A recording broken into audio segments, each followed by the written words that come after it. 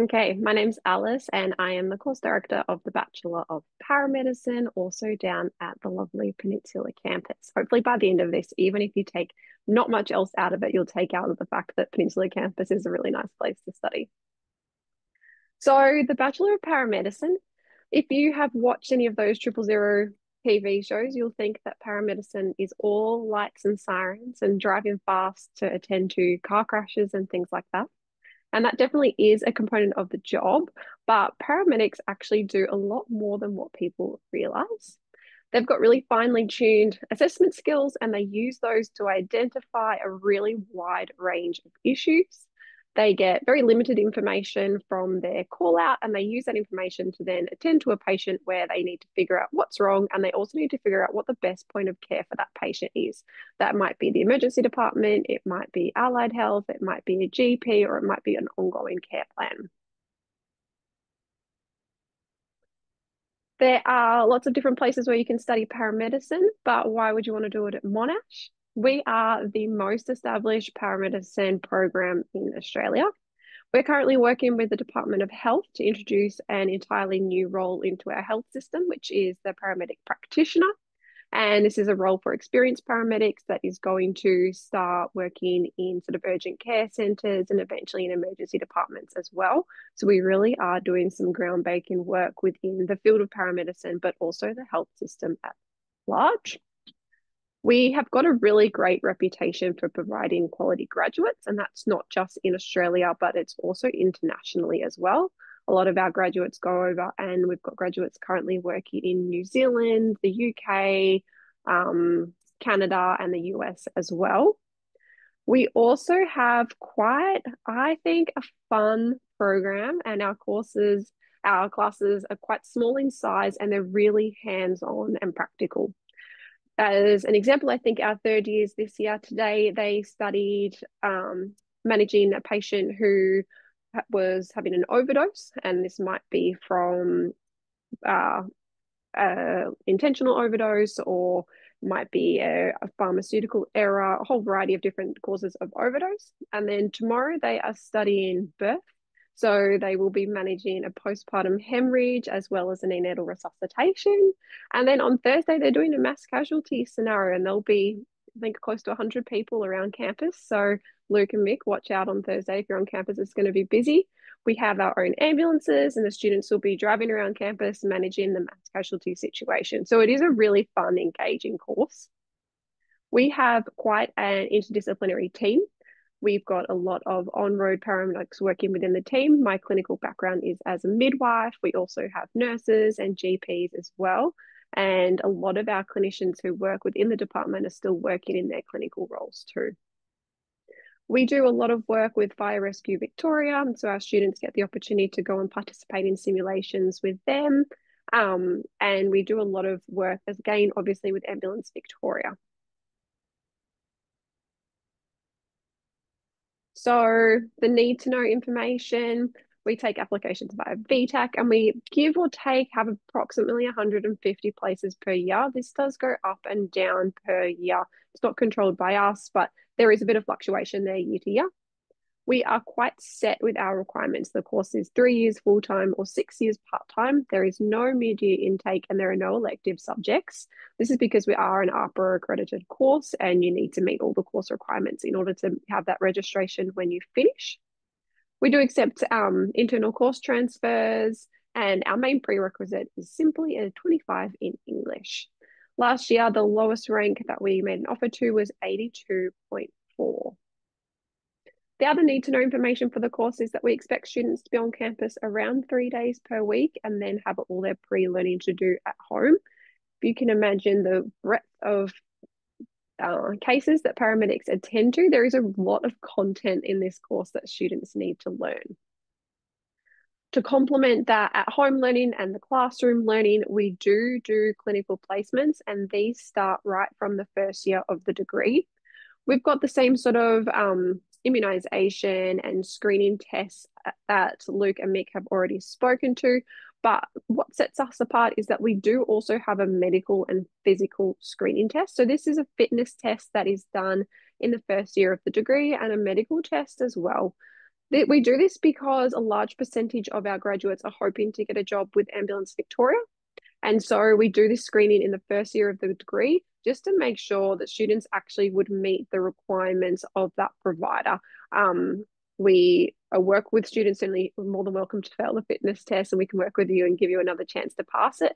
But we really want to work with students to make sure that, you know, this is a career they're going to be able to maintain long term. Our clinical placements, we start in first year with placements that are going to enable your questioning and your patient assessment skills.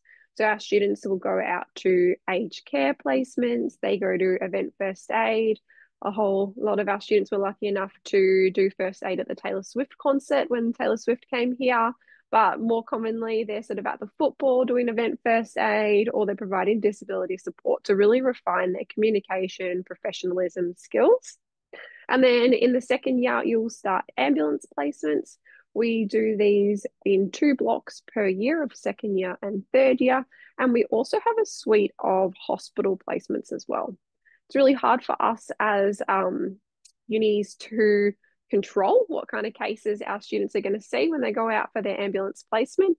So, in order to ensure a little bit of that control, our students do quite a bit of hospital placement as well. So, our students will go into the birth suite so they can hopefully try and see a birth. They'll also go into the emergency department.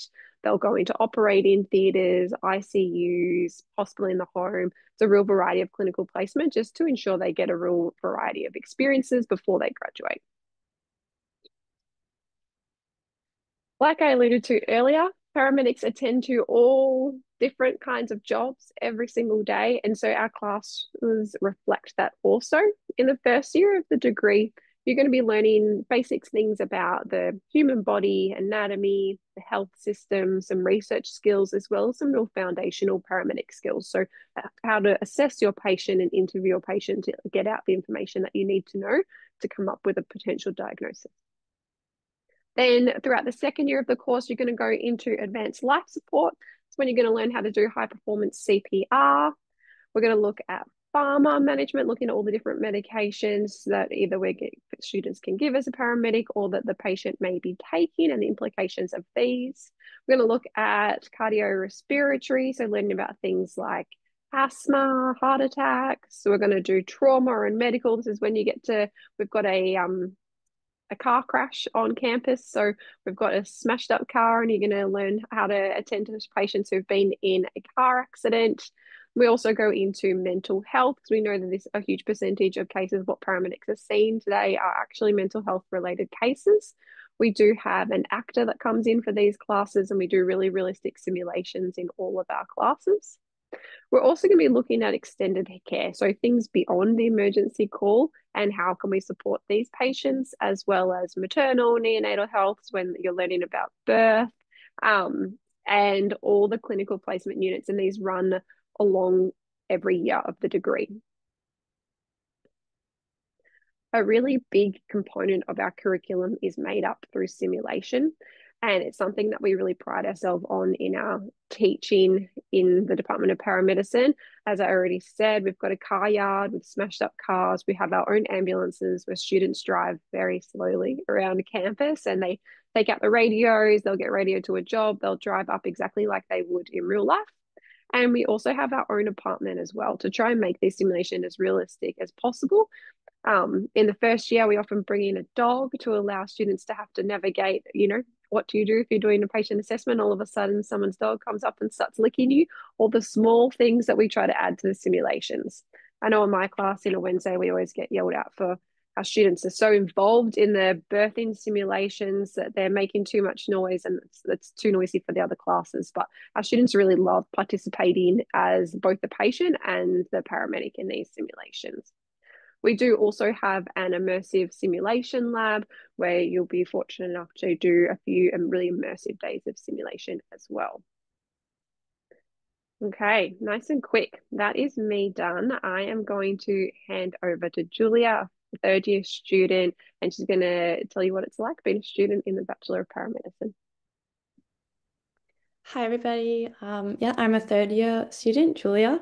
Um, Alice has already given a really good overview of paramedicine, um, but just a bit more about the classroom experience. So, throughout the years of study, uh, we have lots of different types of classes. So, it's not just um, lectures, which are done online, but we also have uh, practical classes. Uh, and tutorial classes where we go more into different pathophysiology and um, get to understand the reason behind what we're doing in the practical classes as well. Uh, and then in, first year, there's a bit more variation because we uh, have a unit called uh, BMA, which focuses on anatomy and physiology. And there are workshops for that, where it's really just integrated uh, learning with your peers to uh, get to understand more about the body. So there's a good variation of classes to keep you really engaged uh, in the experience. And Alice has also um, touched on how we have some stimulation type days. Um, so that these are run on campus, but also off campus at another site. Uh, and these are really good opportunities, I think, for us to be able to get out of our comfort zone and to grow in our confidence because being a paramedic is a it's like you're we often say it's like you're a duck on water you're paddling really hard underneath but from the top, you look really calm. Um, so that's kind of what we um, aim to grow in our confidence and everything like that. Um, as you can see in the pictures, uh, there's some placement experience. So this is both uh, ambulance experience and also hospital experience that we get to do. Uh, but in our first year, it's mainly community-based experience. So we go to special development schools, aged care facilities, um, kind of to get to know different community groups and to work on our communication skills. And then from second year, we get to go on ambulance placements. And this is both within the metropolitan area as well as the rural area. And we also do hospital placements as well. Uh, and now in third year, it's the same, but we also have additional maternity placements. So for me, I have been uh, I've mainly been to rural locations, uh, Mildura for hospital twice actually, but in different departments. So first time was with hospital in the home. And then the second time I this year I went to the mental health department. And these hospital experiences, while it's not necessarily what we do as paramedics, it's really helpful to understand and see what they do uh, in you know the hospital setting because if you know what they're going to do there then it helps you outside when you're thinking of where to take your patient and everything like that as well. Um, so it's a really good chance to get to know more about what they do in the hospital. Uh, and then for my ambulance placements i've been out to ararat and phillip island and i've also done it in the local area as well.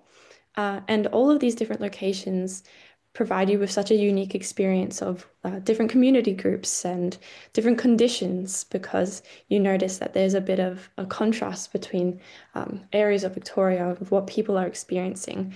Uh, and the paramedics, they're all um, really engaged in seeing you learn and grow. So all of those ambulance placements are really good. Um, you get to work on your ability to also interact with patients and lead jobs. So when you first go on your placement, you're mainly watching.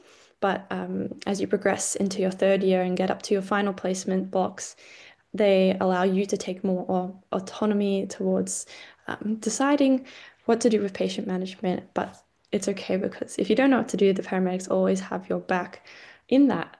Um, yeah, so paramedicine has a lot of great opportunities uh, for you to grow more in your clinical knowledge, but also your confidence as a person. And yeah, it's a really awesome degree.